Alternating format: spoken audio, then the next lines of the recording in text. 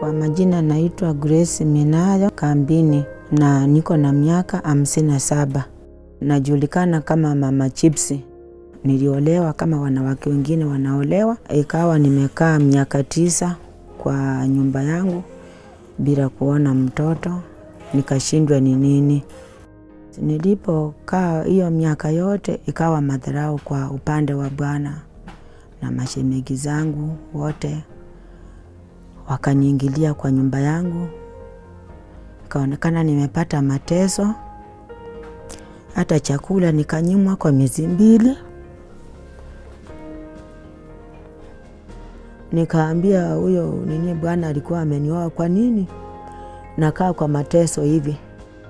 Nilipoenda kwa hospitali, familia ya bwana yangu hawakushughulika yeye pia hakuwa anashughulika kuni, kunipeleka hospitali. Mi nikaona tu ah, unajua kama umeolewa kama bado huko mdogo, huwezi kufikiria mengi, unafikiria tu huko kawaida. Nikaenda peke yangu na nikakosa kukuwa na support. Hata wakiuliza pesa, ningepata wapi pesa ya kuenda juu hakuna mtu alinisapoti hata kidogo. Nikawa sasa nimewacha tu hapo hivyo. Nilipita period one month kwa mwezi ya pili nikaanza kubleed. Sasa hapo si kujua nini. Nilipoenda hospitali wakaniambia nilikuwa nimeshika mimba, lakini ilikuwa nje wa nilikuwa nimeshika kwa, kwa mshipa. Sasa ndio nilifanyiwa operation kwa ajili ya hiyo. Kabla sijatoka huko nikafanyiwa operation kwa tumbo. Nikauliza huyo mwanaume, sasa hivi maisha hivi kama hivi nitakaa hivi mpaka lini? Akaniambia ukienda kufanyia operation ulikuwa unazaa, ndio ukaenda kwa operation. Nikasikia uchungu. Niliposikia uchungu hivyo, akaniambia unakwama kwangu, baba yako na mama yako wamekufa. Kama wamekufa, siwenda kwa kaburi, waambie wakufungulia kaburi uingie. Na akanitusi vibaya, hata hiyo naokopa kusema mbele yenyu nikisikia hivyo hata kuongea kwa mtu nasikianga kama nataka kufaint, nasikianga sina pumzi hata kidogo.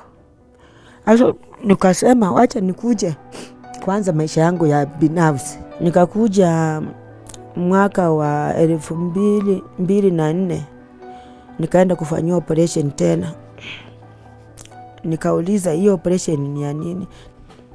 Nilikuwa na bleed na kutapika, nikafanyiwa operation, wakasema ni appendix. Sasa basi nikajua basi kwangu imeisha, si kujua kama naweza kosa kupata mtoto. Nikaanza hii kazi yangu hii ya biashara ili nijisaidie nayo. Sasa nilipofikiria maneno mingi, nikakuja nikapata presha na sukari. Sasa nakaa kujidunga shindano asubuhi na jioni. Sasa najiuliza maisha yangu kama saa hizi, najiuliza niko wapi duniani, niko wapi? Hakuna mwenye atanipenda. Nikienda kwetu, mabibi za mandugu zangu ndio wao na matusi. Kwa mama yangu watu wote walikufa. Sasa mimi nakaa sasa sina mbele wala nyuma. Nani atanisaidia? Hakuna.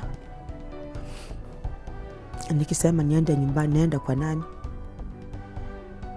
Sina mtu ule nasema naenda kwake.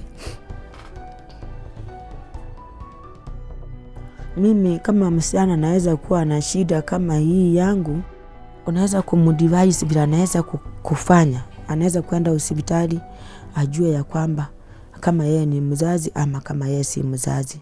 Hii maneno tena iko mbili, inaweza kushika mwanaume, inaweza kushika nini, inaweza kushika bibi. Mpaka mwongelesho mwambie msichana yangu, nenda hospitali, waambia bwana yako mwende na yeye. Unajua naye pia vijana nyinyi pia ni wagumu, nyinyi ni wagumu pia.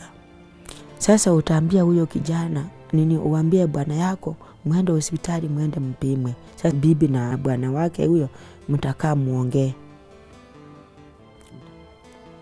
hata kama mimi ningekuwa msichana vila niko na akili hivi, ningekuwa nimefanya mawaiza yangu wengine, ningekuwa nimejaribu hii nijaribu hii nijaribu hii ili nione vila naweza kuendelea maisha yangu, lakini miaka imekataa.